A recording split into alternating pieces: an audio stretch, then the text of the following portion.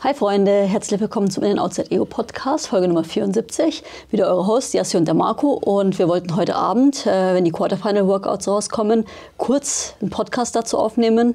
Ähm, und jetzt ist es aber gerade so Nachmittag und äh, wir schauen uns jetzt zum allerersten Mal die Floorplans an, die rausgekommen sind, eben bevor das Announcement äh, gedroppt wird ähm, und raten jetzt einfach mal ein paar Minuten blöd rum.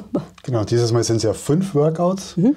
Das heißt, es wird wahrscheinlich dann ein 3 zu 2 geben für einen von uns, wer näher dran war mit den Predictions. Ach so, du bist ja. immer noch bei deinem Counter. Ja, okay. aber bei den Open war es ja quasi 1 zu 1. Und beim ersten waren wir ja beide so daneben, dass okay. keine Wertung war.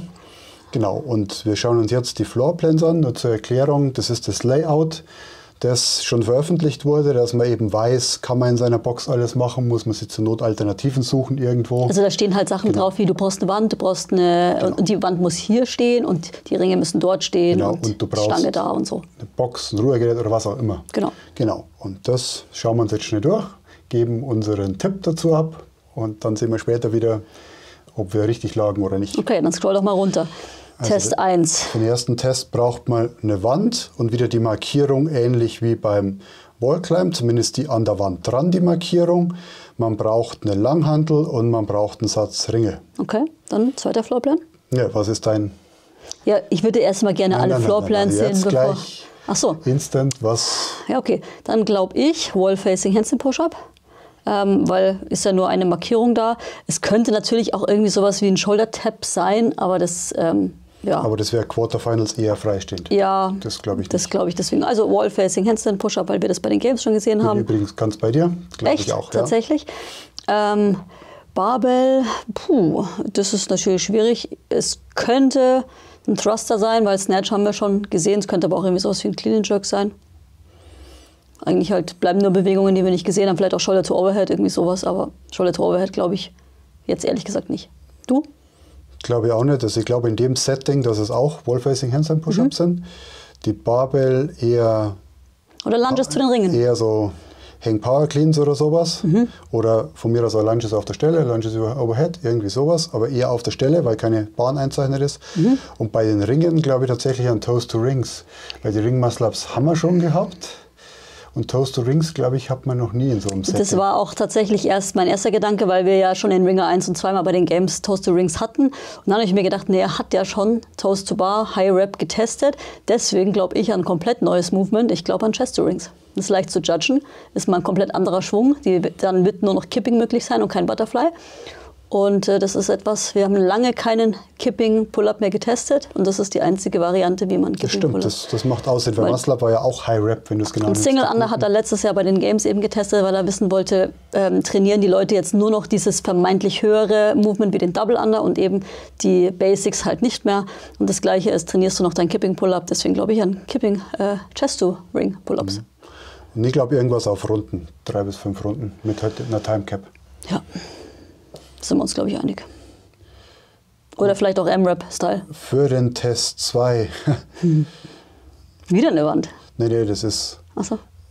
Äh, ist aber noch das Score-Sheet, okay. ist, genau. Test 2 gibt es eine Dumbbell und ein Sprungseil. Okay. Ich habe angefangen vorher, jetzt musst du anfangen. Also bei einer Dumbbell könnte man natürlich leicht Was vermuten. Was ist das für ein Gewicht? Steht das daneben? Das steht noch nicht dabei. Es ist so. nur Floorplan. Gewicht okay. ist noch nicht. Ähm, entweder, dass das Gewicht schwerer ist und damit die allseits beliebten Snatches, mhm. Alternating Dumbbell Snatches, oder was ich cooler finde, so eine Abwandlung von einem ehemaligen Open Workout mit, waren es noch neun Thruster und äh, 35 Double Under oder so, mhm. dass es dieses Mal einarmige Thruster sind mhm. dass mal was Unilaterales drin ist, weil das hat man in der Form auch noch nicht. Und das Sprungseil, Mei, die Frage ist, ob es wieder Double Under sind, weil es waren viele, gerade im letzten Test, oder ob es wirklich gleich Triple Under sind. Mhm. Oder, wie ich es bei meiner Prediction für 23,3 schon gehabt habe, dass ich sage, okay, Single Unders, Double Unders, Triple Unders, irgend so eine fortführende Reihe. Mhm. Puh, ja, äh, sind gute Tipps. Ich hätte jetzt tatsächlich bei der Dumbbell ähm, auch gerechnet mit entweder dem Single Arm äh, Thruster. Äh, was ich mir tatsächlich aber auch vorstellen könnte, ist ein Dumbbell Squat Snatch. Mhm. Ähm, weil einfach diese One-Arm-Overhead-Mobility, Snatches haben sie schon so genug gemacht. Das ist den Games-Athleten auch relativ egal. Ist jetzt auch egal, ob das schwer ist, ist wirklich ja. wurscht. Ähm, aber ein Squat Snatch ist einfach, glaube ich, nochmal eine andere Form. Und äh, ich glaube, bei dem Seil glaube ich nicht an Triple Unders, weil ähm, es bisher haben wir nie irgendeinen Test gesehen, den es bei den Games vorher nicht gab. Deswegen glaube ich ganz stumpf Double Under Crossover, weil er sehen möchte, hey, habt ihr aufgepasst, habt ihr mhm, zugeschaut, habt ihr äh, geübt. Ähm, was da gewesen ist, weil es waren sehr viele Leute, die auch auf Instagram so gepostet haben, hey, ich kann Double Under Crossover und die können auch mal belohnt werden. Mhm. Ja. Was glauben wir da? Glauben wir M-Rap oder da glaube ich eher an Runden für Zeit wie beim ersten, so 10 Rounds for Time. Könnte so aber einfach was im Normalfall ist zum Ballern, wo ja. du richtig. Also 10 Runden auf Zeit, einfach mal so, gib ihm. Ja. Test 3 braucht man wieder eine Hantel, die 5 Fuß von einer Boxjumpbox entfernt sein muss und bei der Box-Jumpbox sind Linien eingezeichnet. Mhm. Also kann man vom Burby Box-Jump Overs mhm. ausgehen. Und die Barbell, mei, das kann jetzt alles sein. Was? Da muss ich jetzt eigentlich wieder anfangen, Marco. Ja, jetzt bin ich schon drin. Achso, ja, dann leg los. Ähm, das hängt dann davon ab, was vorher mit der Barbell war. Also man mhm. könnte mir gut vorstellen, dass es zum Beispiel Deadlifts und Boxjump Overs sind. Mhm. Aber das ist ja eine tricky Kombi. Das mhm. hat man ja beim Bundesverband Workout schon so ähnlich. Oder wenn zum Beispiel Deadlifts im ersten Workout sind, dass es da ist Clean and Jerks. Mhm. So, keine Ahnung, zehn Stück, kombiniert mit Burpee Box Jump Overs. Und da, durch das, dass es ja bei den meisten Athleten, also bei den Elite-Athleten, dauern diese Bewegungen ja alle gleich lang. Also ist die Frage, ob man da ein schnelles M-Rap macht, ob man wirklich sagt All Out oder man macht wieder was mit Runden auf Zeit. Also, also dieses Workout bin ich mir ziemlich sicher, ist etwas, was unfassbar schnell ist. Es wird ein Power Output Workout. Ich glaube, dass das eine Time Domain von drei Minuten sein wird. Okay. Ähm, und ja, gut, die Box und die Markierung ist relativ klar, dass es wahrscheinlich irgendwie was mit Burpee Box Jump was sein müsste. Ich könnte mir aber auch vielleicht mal eine Variante vorstellen, die Box nicht berühren. Also wirklich. Oder die Hände auf der Box. Irgendwie so. Einfach vielleicht da mal eine andere Variante. Und ich glaube tatsächlich bei der Langhantel jetzt auch, äh, kommt drauf an, was in dem anderen Workout ist.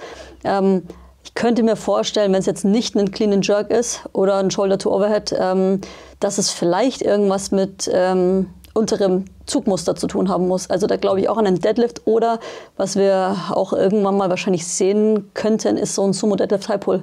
Ist auch so eine Bewegung leicht zu judgen, Ellbogen einfach oben, Hüfte ganz gestreckt und das ist auch so ein Basic CrossFit Movement. Stimmt, wenn der nie drankommt. Und, und der, glaube ich, ist in der Kombi richtig mies. Stimmt, und jetzt statt dem Burpee Box Jump Overs, vielleicht ist es mit den Linien auch Jump Overs ohne Burpee, dass die Hände mhm. immer auf der Box bleiben müssen, dass man so ein bisschen die laterale Rotation drin Ja, und wie gesagt, Time Domain, glaube ich, richtig, richtig schnell. Auch schnell ist, okay. Ja. Test 4 ist ein Rudergerät und äh, GHD. Und kein Seil dazu. Oh, Nein. Okay. Soll ich oder du? Jetzt bist du wieder dran. Ja gut, Rudern und GHD Sit-Ups, wow. Vielleicht ähm, aber auch sowas wie ein Hero Workout. Ähm, da gibt es auch dieses eine 50 GHG Sit-Ups, 50 Back Extensions, 1000 Meter Laufen. Ich habe das mal gemacht. Das ist ganz, ganz oft Mainside gewesen. Man könnte das Laufen ganz einfach durchs Rudergerät ersetzen. Also ähm, ich glaube, das Workout geht drei Runden, 800 Meter Laufen damals, also glaube ich an Rudern. Mhm. Und dann 50 GHG Sit-Ups, 50 Back Extensions, drei Runden auf Zeit. Das wäre dann dieses Hero Workout, wenn mir der Name jetzt einfallen würde. Ja, weiß ich auch nicht. Okay. Ich habe das dreimal gemacht. Ich glaube tatsächlich nicht an Back Extensions, weil da ist wieder die Judging schwieriger wie bei den, bei den Sit-Ups. Unten berühren und. Ja, ja, aber es ist, ja. lässt mehr Spielraum bei den Sit-Ups. Du berührst und du berührst vorne das Kissen, glaube ich, ist leichter. Ich glaube, dass es vielleicht eine Falle ist, weil mhm. man denkt, jetzt Rudern und GHD. Ja, aber der Boden ist ja auch noch dabei oder das Rudergerät. Also es könnten auch da könnten Triplets sein. Burpees over the Rower mit dabei sein. Vielleicht richtige, weil wir mhm. vielleicht vorher mit der Box ein anderes Movement sehen. Also ich würde mich da nicht darauf verlassen, dass es nur die zwei Movements sind, sondern ich glaube eher, dass es ein Triplet wird. Weißt du, was richtig hardcore wäre? Rudern, ähm, die GHD Sit-Ups und dazwischen Press to Handstand.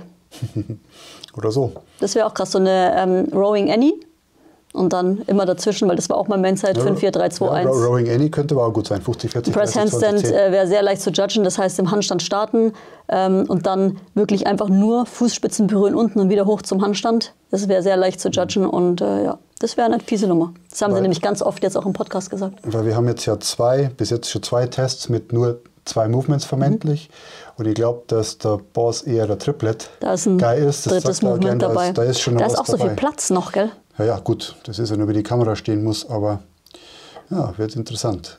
Und der letzte Test haben wir eine Klimmzugstange, ein Seil zum Klettern und wieder eine Langhantel. Uh. Vorhin bei den Ringen haben wir gar nicht an Wingdips gedacht übrigens. Gut, die sind da oben ein bisschen komisch zu judgen. Stimmt, aber stand die Höhe jetzt erstmal nicht dabei, das aber stimmt. ja. Ja, fang du an. Ja, also wenn Pull-Up, und es steht ja auch Pull-Up-Rig da, also denke ich nicht, dass es Bar-Muscle-Ups sind, weil nicht überall, wo du Pull-Ups machen kannst, kannst du auch räumlich mhm. Bar-Muscle-Ups machen, zumal ja die Muscle-Ups auch schon dran war. Ich glaube da eher so ein Chest-to-Bar, weil einfach deutlich leichter zu judgen wie normale. Auch eklig genug mit dem Rope Climb dann, mhm. weil es ja zweimal Pull ist. Und die Barbell, ja, ist auch schwierig zu sagen, was es damit ist, weil der erste Impuls wäre für mich gewesen Deadlift, aber dann ist es eigentlich wieder ein Pull. Also wenn ich vorher gesehen hätte, dass noch eine Pull-Up-Stange dabei ist, dann hätte ich vielleicht nicht auf äh, Chest to Ring getippt, sondern da tatsächlich auch eher auf Toast to Ring und dann da auf Chest über Pull-Up. Wobei es könnte natürlich auch beim Pull-Up, jetzt lehne ich mich ganz weit aus dem Fenster, ein ähm, Pull-Over sein, also sozusagen verkehrt rum Muscle-Up. Mhm äh, Muscle-Up-Komplex. Feldaufschwung. Ja, Feldaufschwung, genau. Sowas könnte auch sein. Das Seil könnte natürlich auch sein, dass er da diesen Standard auspackt. Der bei den Games, da haben sie das äh, äh Seil ja rausgenommen den, äh, aus den Workouts, weil manche Seile waren sehr schwer, weil sie nass wurden von dem Regen und andere eben nicht. Und da war der Standard, du musstest klettern und äh, das Bein musste an einer Seite vom Oberschenkel entlang laufen. Also du durftest es nicht zwischen die Beine haben, mhm. sondern es musste außen. links außen laufen. Was bedeutet, du musstest im L-Sit hochklettern und vor allen Dingen aber auch im L-Sit wieder runter. Und das wäre natürlich ein fieser Standard, aber das wäre natürlich krass. Aber ich glaube, das ist für die Quarterfinals tatsächlich ein Tick zu, zu krass. Ja. Zu krass. Das wäre was für die Semifinals. Ja. Da gebe ich dir recht. Aber für die, zumal ein Pull-Up-Ring könnte halt auch sein, so diese Toe-to-Bar Pull-Up. Ja. Kombi oder Dreimal eine Langhantel ist schon auch krass in den Tests, gell? Damit es irgendwas Squat-lastiges. Ja. ja. Oder, oder Deadlift. Halt, oder halt einmal ganz einfach Front Squats. Dass man gar nicht an so komplexe Sachen denkt, sondern einfach, okay, ich habe eine Handel oder auch mit Backsquats. Ihr müsst ja, ich glaube auch Squats. Irgendwie Squats, dass, High Squats. dass irgendein Squat drin ist. Stimmt, wir hatten gar keinen High-Rep-Squat, die ganzen Workouts nicht. Mhm. Ja. Na gut, das waren jetzt mal unsere Voraussagen. Haben wir ganz schön lange jetzt rumgeraten. Ja, bin ich mal gespannt, hm. wie, wie daneben wir wieder liegen. Okay. Genau, das seht ihr dann, wenn es gleich weitergeht mit den Oder wir strahlen es gar nicht aus. Oder so. So, Freunde, äh, Workouts sind online. Ein ähm, paar Sachen haben wir ganz gut geraten, andere wiederum nicht. Wir haben manche immer vergessen, aber ich finde, wir waren schon Voraussagen ganz gut dabei. Ja, also bevor wir den Podcast, ist ja immer so schwierig, sich noch daran zu erinnern, aber bevor der Podcast losging, kann man jetzt im Nachhinein immer leicht sagen, aber Lunch war irgendwie klar und Handstand Walk war irgendwie klar, dass dann kommt. Ähm, ich würde sagen, wir gehen die Workouts ähm, später dann jetzt nochmal genau durch, wie sie sind, aber was, glaube ich... Wird sie, wird sie tatsächlich gleich durchgehen. Ach so, dass jeder im Blick ganz hat, kurz was, einmal erklären. Genau. Ja gut, machen wir das auch so. Also Test 1 sind 9 Front Squats mit Gewicht 1, 9 Handstand Walks von jeweils 25 Fuß, mhm. dann 15 Front Squats mit dem zweiten Gewicht, 15 Ring Muscle Ups, 21 Front Squats mit dem dritten Gewicht, 21 Chest to Wall Handstand Push-Ups. Haben wir beide die, die zumindest hatten, den Teil vorhergesagt. Ja, beide.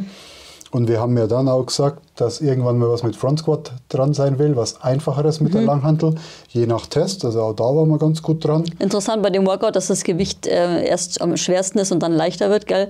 Muscle-Ups ähm, haben wir ja vorher gesagt, glauben wir nicht ein zweites Mal, aber es macht natürlich schon Sinn, sie jetzt nochmal wirklich zu prüfen ähm, ja, weil vorher bist du schon, sag ich mal, zu den Quarterfinals gekommen, als Frau jetzt, wenn du überhaupt ein Paar oder einen Ring Muscle Up hattest. Ja, oder vielleicht, wenn es in den anderen gut warst, sogar ohne Muscle ja, Up. Also macht deswegen schon Sinn, testet es jetzt einfach auch nochmal äh, genau, ob die sicher sind. Und ja, Handstand Walk muss er jetzt auch mal testen. Wegen Semifinals will er jetzt, glaube ich, keinen, der nicht Handstand walken kann. Von daher gesehen, ja. Und es ist ja eher mehr außergewöhnlich, das ist 9, 15, 21, dass die Neuen gehen mit dem schwersten Gewicht los. Ja. Das heißt, dieser Kritikpunkt ja oft von den starken Menschen, ja, ich kann meine Stärke nicht zeigen, weil ich komme da nicht hin. Ja. Jetzt geht es mit dem schweren Gewicht ja. los. Das sind 70 Kilo bei den Frauen und 102 Kilo bei den Männern. Das ist krass. Vom Boden, das heißt, man muss es auch cleanen. Also testet man eigentlich den Clean auch gleich mit. Das stimmt. Und auch, ob man wirklich stark ist. Auf, ja. Aufheben. Das zweite Gewicht ist dann 56 und 83 Kilo, es wird also leichter. Und das dritte 43 und 61. Ja, komplett gestört. Was ich auch krass finde, dass die Chest-to-Wall Handstand-Push-Ups, also jeweils die erste Wiederholung muss vom Wall-Climb starten. Das heißt, du musst, wenn du da als Singles machen würdest, ich meine, gut, wenn du so weit kommst, dann machst du da wahrscheinlich keine Singles, aber dann musst du wirklich jedes Mal da erstmal hochkraxeln und dann den Handstand-Push-Up machen und äh, ja, dann wieder nach oben kommen. Und wir haben vorher noch so ein bisschen darüber gesprochen, ähm, wenn die, also da wieder hochzuschieben, die Füße müssen ja bei Start und bei Ende wieder an der Wand sein. Das heißt, wenn die die ganze Zeit an der Wand sind, musst du jedes Mal die Reibung von den Schuhen an der Wand sozusagen mit hochpushen. Also die effizienteste Art und Weise ist tatsächlich dann da Freestanding runterzugehen, Freestanding hochzudrücken und dann äh, wieder sozusagen den Kontakt zur Wand zu suchen. Und das finde ich unfassbar cool, mhm. weil er damit wirklich den Leuten den Vorteil gibt, die der Bewegung, ähm, ja, so wie sie halt am Ende dann sein soll, wirklich am nächsten kommen. Und das finde ich schon geil. Ja, und das ist halt auch, du musst erstmal wieder dahin kommen. Selbst, ich meine, das sind jetzt die Top 10 Prozent, ja, aber durch das Ganze, erstens musst du in der Lage sein, als Frau 70 und als Mann 102 zu cleanen und auch auf Reps mhm. zu Front squatten. Und den Handstand Walk, der glaube ich geht bei den meisten, also da sehe ich nicht so große Probleme. Die 15 Front Squats sind dann leichter, ja, das hilft aber nichts, weil die erste Schwere hattest du ja bewältigen müssen. Mhm. Und die 15 Muscle Ups sind da halt so in der Mitte vom Workout. Im Open Workout waren es halt zum Schluss, dass die Elite, die wenn man hinkommt, noch mhm. einen macht oder noch mehrere machen, durchkommen. Und jetzt ist es aber in der Mitte vom Workout. Das heißt, wenn du stark genug bist, das Startgewicht zu cleanen und zu squatten, bist du bei den Muscle-Ups. Ja, also ich finde das Workout richtig geil. Wie findest du? Ich finde es auch super. Und ja. auch mit dem Chest-to-Wall Handstand Push-Up, dass mhm. er nicht, Handstand Push-Up war mit der Wand klar, aber dass er nicht zweimal der gleiche Handstand Push-Up kommt. Und was wir ja letztes Mal schon gesagt haben, bei den Games war er ja schon. Genau. Sogar Defizit. Cool. Und jetzt haben sie ihn halt runtergebrochen auf die Quarterfinals. Bevor wir also die Workouts eigentlich ansprechen, wollte ich ja nur noch mal vorher sagen, ähm, das nehmen wir jetzt wirklich nur just for fun auf, damit einfach, jetzt weil ich meine, die unseren Podcast ja hören, da hat sich jetzt natürlich die Mehrheit nicht dafür qualifiziert, das ist auch vollkommen, ähm, ja, es sind einfach nur mal nur ganz wenige Menschen, die das erreichen. Aber wir haben uns gedacht, wir nehmen einfach mal trotzdem noch mal ein bisschen was dazu auf, weil es, glaube ich, einfach mal interessant ist, so drüber zu sprechen, ja, was, was machen denn einfach da so Profis? Ja, also dann das Gesamtbild zu sehen, ja. was wir gesagt haben, die Open und dann die Quarterfinals. Ja. Nur nicht, damit ihr euch jetzt fragt, äh, so nach dem Motto, was interessiert mich das? Ja. genau. Ich glaube, das ist trotzdem einfach mal witzig. Genau, Timecap von 15 Minuten. Krasser Scheiß. genau. Mhm. Mega. Ja, ich würde keine einzige Wiederholung hinbekommen, weil cleanen kann ich das nicht. und selbst wenn, dann nicht Front squatten würde. Nee, clean hatte ich mal 68. Also selbst wenn ich das mal schaffen würde, das kann ich Front squatten. Ich konnte die 102 schon mal, Front squatten auch, aber jetzt. Ja, das sieht man mal, gell, wie weit äh, der Sport gekommen ist. Das ist mega krass. Ja gut, Test 2. Test 2 ist ein 12 Minuten M-Rap mit 8 Dumbbell Snatches mit dem ersten Arm. Danach 8 Overhead Walking Lunges mhm. mit dem Arm. Dann Armwechsel, wieder 8 Dumbbell Snatches. Dann wieder 8 Overhead Walking Lunges und dann 40 Crossovers. Würde ich sagen, dann kriegt jeder von uns nur einen halben Punkt. Nee, ich kriege einen halben Punkt, weil ich habe wenigstens Crossover gesagt. Ich habe ja Double Under Crossover gesagt. Aber ansonsten lagen wir ja bis auf den Snatch, da habe ich Squat Snatch, glaube ich, gesagt. Und wir haben gesagt, vielleicht könnte auch ein schwerer Snatch. Und, lagen und wir relativ daneben. Ja. Für die Frauen dieses Mal 22,5 und für die Männer 32,5 Kilo. Also er ist schwerer. Genau, und die Crossover was wir auch schon hatten, waren ja bei den Games dran mhm. und da konnten es manche nicht. Und jetzt ist es schon in den Quarterfinals, um zu testen, ob es die Leute geübt haben. Ich glaube, dass das wirklich kein Problem ist, selbst, weil selbst wenn die es noch nicht geübt haben, kann sich da jetzt, äh, sage ich mal, jemand, der auf dem Level ist, innerhalb von fünf bis zehn Minuten da schon drauf einstellen. Ja. Das ist nicht so schwierig, die Arme da einmal zu überkreuzen. Genau, und wir hatten noch recht mit schwererem Gewicht. Das stimmt. Ja, also okay, Fishing vor. Genau, da zwölf Minuten M-Rap das, glaube ich, zieht schon ganz schön. Zwölf Minuten können da verdammt lang sein, das weil für die acht Snatches und acht Lunges sind kein Problem. Aber da haben wir wieder die Doppelbelastung an Schulter, bei den mhm. Crossover mhm. dann auch wieder, dass die frei laufen können. Also das wird auf alle Fälle auch interessant zu sehen, was da für Scores gibt. Ja. Also da bin ich sehr Denke gespannt. Ja, schau mal. Wie findest du das Workout? Haben wir noch nicht besprochen, wie du es findest? Auch gut, weil es eben mal keine Double Unders sind. Also immer dieses ständige Double Unders ballern und auch eine Kombi aus Movements erst mache ich meine Snatches und dann muss es oben bleiben, mhm. weil sonst, wenn jemand nur immer High Rep Snatches macht, kann es sein, dass es in die Lockout-Position oben nicht Ja. die stabilste ist. Und jetzt ist er aber gezwungen, die stabil zu haben, um die Lunges da machen zu können. Und ich finde, das war jetzt schon Test 1 und Test 2 einfach so grundsätzlich so Fitnesstests, die du liest und wo du sagst so, hey, da habe ich Bock drauf. Also es klingt irgendwie nach Spaß. Kannst du nicht, aber ja. Ja, aber irgendwie ist cool. Test 3 hattest du recht, Oh, weil du stimmt. gesagt hast, es ist was Schnelles, es ist ein Sprint. Es sind fünf Runden auf Zeit von fünf Burpee Box Jump Overs. Für die Frauen über die 24 Inch, also 60 Mhm. Zentimeter, und für die Männer 30 Inch, also 75 Zentimeter. Also eins höher Mhm. sozusagen wie sonst. Und einem Clean and Jerk. Aber jede Runde kommt ein Clean and Jerk dazu. Das heißt, in Runde 1 eine, Runde 2 2, Runde 5 dann 5. Und das Clean and Jerk Gewicht sind 83 Kilo für die Frauen und 100, 125 für die Männer. Da müssen einige schon mal Squat clean, damit es überhaupt hochgeht, gell? Ja, ja. Das ist krass, ja. Und halt auch öfter. Und nach, nach mehr Burpees wird ja nichts leichter und schon Ja. gar kein Squat Clean. Und schon gar nicht nach Test 1, den du ja gemacht haben musst. Also die ähm, Ja, Wall-Facing der- Handstand der- Das Push-Ups. ist Tag 2, das haben wir vorher vergessen zu sagen. Die ersten beiden Workouts müssen am ersten Tag absolviert werden, Ja. die zweiten beiden, also 3 und 4, am zweiten Tag. Ja, mit nach meinte ich ja Test, den genau. Tag danach. Also ich Ja. glaube, dass das nicht so äh, missachten ist. Ja, Ja, aber das ist ja für Schultern war am ersten Tag. ja ich finde find ich auch geil. Also ja, ist was für die starken Leute und auch für die, die wirklich, sage ich mal, schnell über so eine Box können. Genau, da musst du schauen, okay, ich bin stark, aber bin ich auch stark und schnell. Ja, so ein richtiges Power-Output-Workout. Da ist die Timecap von 10 Minuten. Und ich denke, dass es da genügend gibt, die es in der Timecap nicht schaffen, weil sich die Clean and Jerks dann irgendwann doch zu schwer Und soll ich dir sagen, ich, da gibt es auch einen Freak, der das in fünf Minuten irgendwas macht. Ja, das, das, den gibt es immer. Aber Das ich glaube, auch dass krass. der Großteil erstmal fertig werden muss, weil es sind in Summe dann doch 15 Clean Ja, ja. Jerks. Also das ist Voll. nicht so ohne mit dem Gewicht. Da kann man echt vorstellen, dass manche Menschen das als immer machen. Aber die fahren dann ja auch zu den Semifinals. Die fahren dann sicherlich zu den Semifinals. Test 4, muss ich ja sagen, hatte ich ja grob mit meiner Press-to-Handstand-Idee recht. Aber erzähl erst mal, Ja, was Workout ist. grob. Ja, so grob vom von der Idee Ja, her. Test 4 war das im Rudergerät und im GHD und das sind 20 Minuten M-Rap von 1000 Meter Rudern, 50 GHD-Sit-Ups, Wir müssen erklären, was ein GHD-Setup ist. 500 Meter Rudern, 25 V-Ups. Mhm. Genau.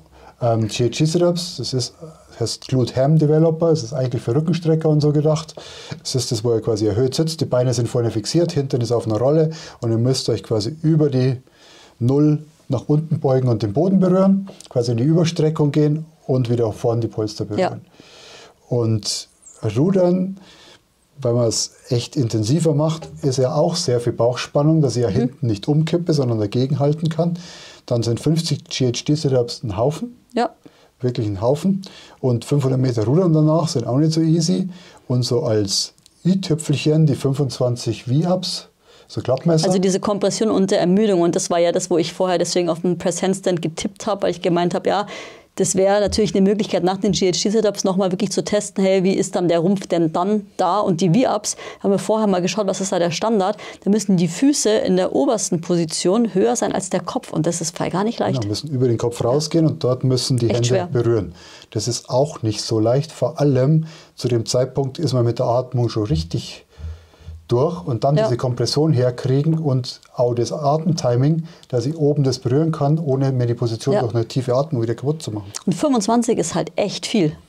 Ich finde 50 GHD-Setups mehr. Die würden mich jetzt nicht so stressen, aber 25 V-Ups direkt hinterher, also die dann unbroken zu machen, ja, Da bin ich auch gespannt, was da an, an Runden rauskommt. das könnte ich mal testen. Das war Man weiß es nicht so 1000 Meter, wenn man jetzt langsam rechnet, sind es für, für jetzt die Leute, die hier dabei sind, sind es vier Minuten. Die 500 dann noch mit zwei Minuten oder ein bisschen drunter, dann hat man ja schon sechs. 50 GHDs dauern.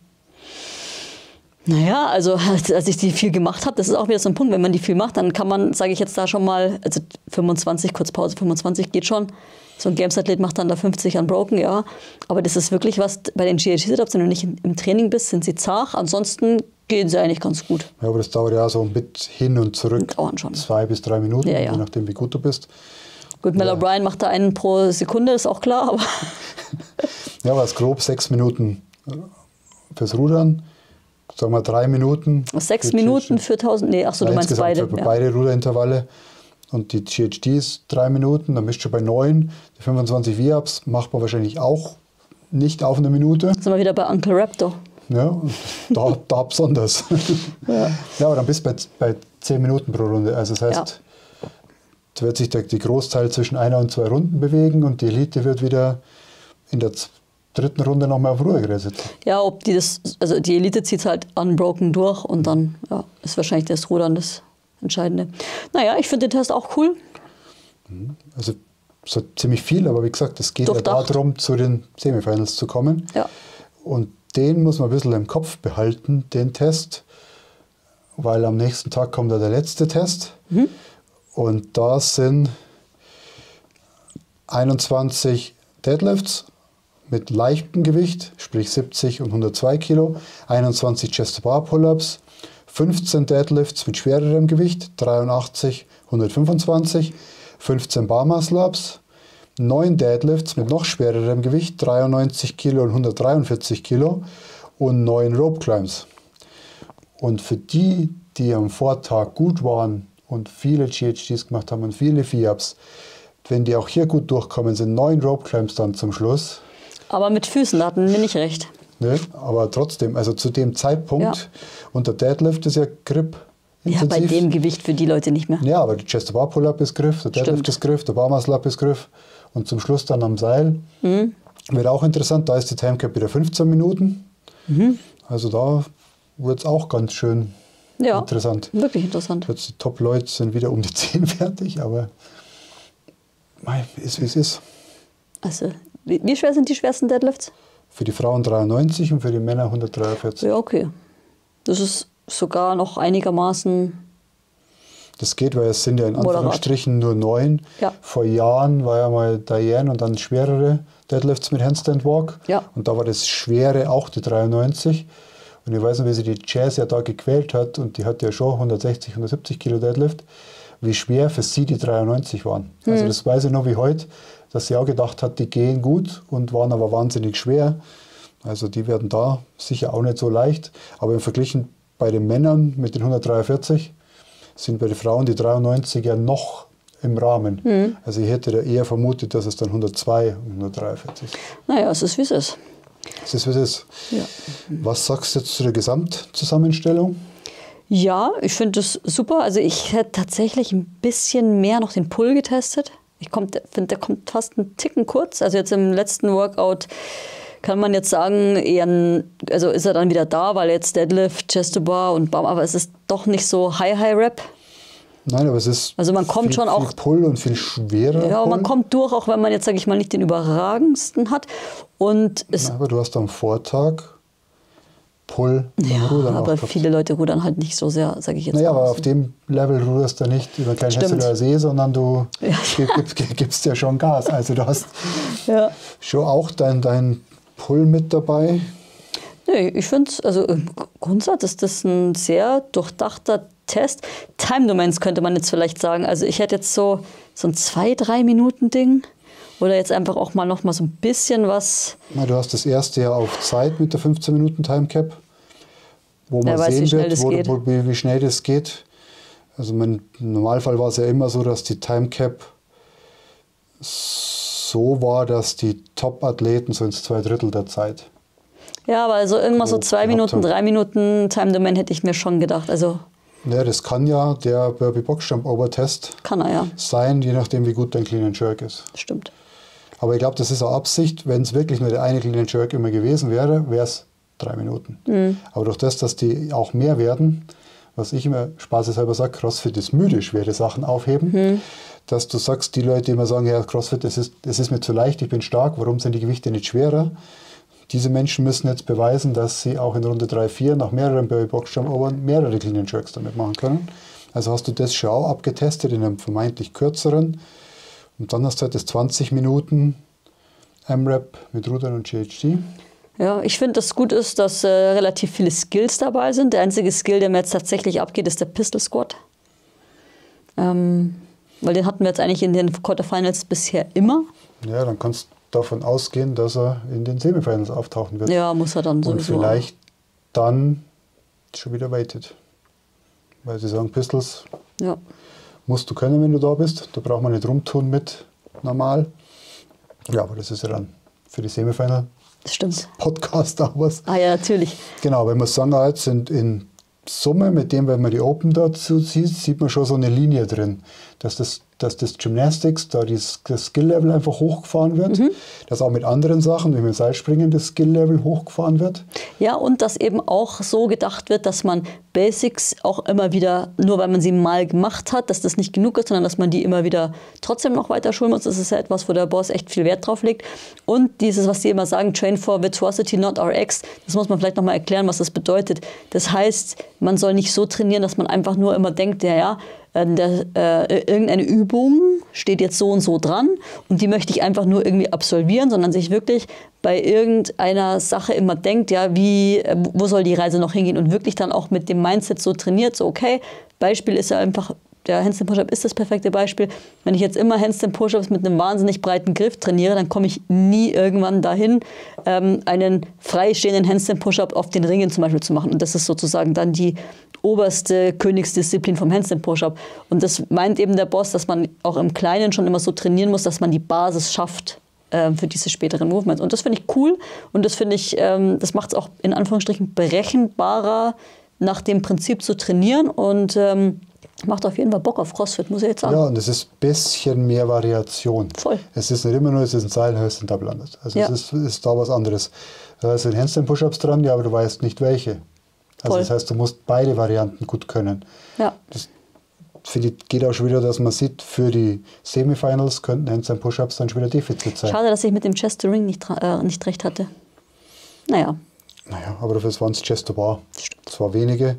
Ja, aber ich glaube, dass er davon auch weggeht, diese super High Rap Pull-Ups da zu feuern. Meine, nachdem sie ja dann so am Anfang schon die generelle Kritik gab und zum Schluss aus das Zitat von Glassman, mhm. sein größter Fehler war der Kipping Pull-Up, den ja, er gemacht hätte, den hätte er nicht machen sollen.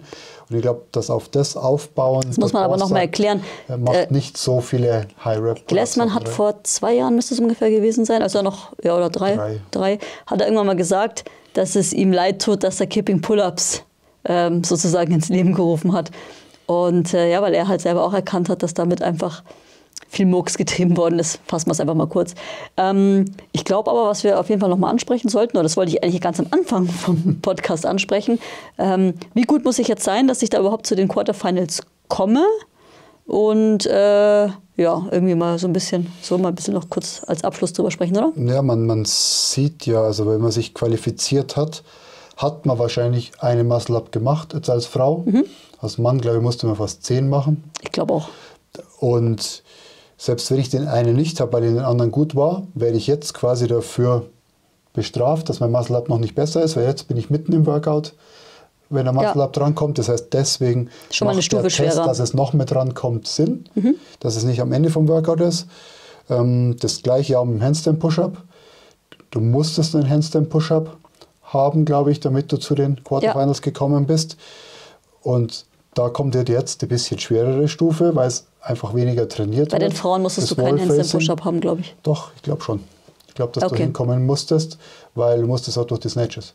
Ah ja, stimmt. Mhm. Genau, also da kommt jetzt quasi die nächste Skill. Du kannst normale strikte Handstand Push-Ups, jetzt musst du sie Wallfacing machen. Und äh, beim dritten Workout, wie weit musste man da ungefähr kommen? Beim, das war das dritte Handstand so. Ah ja, stimmt, Shuttle Run äh, Burpee haben wir vergessen. Shuttle Run Burpee Pull-Up. Shuttle Run Burpee Pull-Up. Das kann ich jetzt so gar nicht einschätzen. Da ist jetzt 30er. kaum Übertrag da. Ja, da war es mit der Kombi mit dem Thruster. Aber da haben wir eben den Squat, den du ein bisschen vermisst hast in, in den Open. Der war halt einmal heavy drin, der Thruster. Das heißt, den hat man da schon auch mit dabei. Und dann sieht man, es ist halt jetzt wenig, was früher oft dran war, sowohl in den Open als auch dann weiterführend, ähm, dieses High Rep Shoulder to Overhead. Hm. Wir haben es jetzt äh, ersetzt durch strikte Handstand Push-Ups. Stimmt. Das war also dein Kritikpunkt auch, diese Kipping Handstand Push-Ups. Ja, die, die, sind anscheinend die, komplett die, Geschichte. Die sind jetzt anscheinend raus. Könnte man vorstellen, dass die wieder kommen Nein, auf, die kommen nie wieder. auf Parallels. Dann ja, bei den Games. Parallels mit, dass sie ein gescheites Defizit haben. Dann, Games-Athlet kann ja dann an einem Wettkampf auch einen Kipping Handstand Push-Up, sage ich mal, tolerieren. Aber der Otto-Normalverbraucher in einer Box, auch einer, der, sage ich jetzt mal, ähm, ländlich auf Wettkämpfe fährt oder sowas und selbst ein Games-Athlet, ganz ehrlich, der kann halt dann Kipping Handstand Push-Ups, aber profitiert nicht davon. Machen Deswegen, sie ja, haben sie ja teilweise ja gar nicht gemacht, weil sie Nein. schneller waren. Ja. Also, das hing ja auch Carrie Pierce hat gar keine Kipping Handstand Push-Ups in Mary gemacht, weil es einfach schneller war. ja. ja, gut. Ähm, genau, ich glaube, wir haben schon relativ komplexes Bild jetzt gesehen. Wir hatten Laufen drin, deswegen ist jetzt das Rudergerät drin. Was noch fehlt quasi ist das Assault-Bike, was so ein Klassiker ist. Das denke ich ist dann wieder ähm, Semifinals. Ja, sicher. Skierg ja. auch. Skierg, genau. Schwimmen, Schwimmen wird definitiv Semifinals sein, aber das können wir ja dann machen. Aber weiß ich nicht. Wenn das ist logistisch ja ein Riesenaufwand. Das mit der Schwimmhalle und so weiter. Ich weiß nicht, ob das mit Semifinals, das glaube ich ist wieder Games. Games-Geschichte. Einfach nur, weil es logistisch so unpraktisch ist. Gar das nicht, weil, es da, weil man es nicht testen will, sondern weil es halt wahnsinnig schwer ist, hm. das hinzukriegen. Wer hat sich aus unserer Box qualifiziert für Quarterfinals? Ähm, die Julia mhm. Lundbeck und die Jess. Mhm. Die starten dann morgen. Du wirst wieder die Kamera draufhalten. Mhm. Wird auch interessant. Wie gesagt, erst gibt es die ersten zwei Tests am Freitag. Mhm nächsten zwei Samstag und den letzten am Sonntag. Genau, und was auch total cool ist dieses Mal, die müssen dann ihre Tests auch online stellen, also so ähnlich wie ihr das bei den Open auch gemacht habt. Und äh, man kann aber nicht sehen, auf was für einem Platz man ist, äh, erst wenn alle Workouts sozusagen schon von allen Leuten gelockt sind. Also erst ja. dann am Sonntag, also ich glaube erst am Montag oder so. Kein Leaderboard. Das heißt, dieses äh, äh, ja, einfach mal so System gamen und mal gucken, so ja, muss ich das nochmal machen, muss ich dieses Workout nochmal machen, gehen da vielleicht noch so ein paar Sekunden. Das fällt komplett weg, weil du einfach nicht weißt, was deine Konkurrenz macht. Du kannst für dich selber entscheiden, so ja, okay, ähm, kann ich da vielleicht das nochmal machen und besser sein, wenn du das an dem Tag nochmal tolerieren kannst, okay. Ähm, aber du kannst nicht äh, das, äh, ja, aber ich glaube, das kann, ist keine auch durch, machen. dass es wirklich jemand zweimal macht, weil du musst pro Tag zwei Tests machen und dass du da einen zweimal machst, dafür sind die Workouts schon fordernd. Also auch für, für Games-Athleten ist es schon möglich. so, ja, ist es schon so, dass da Gewichte dabei sind, die muss man jetzt nicht unbedingt zweimal in der Intensität an einem Tag machen, wenn man noch einen Workout dran hat.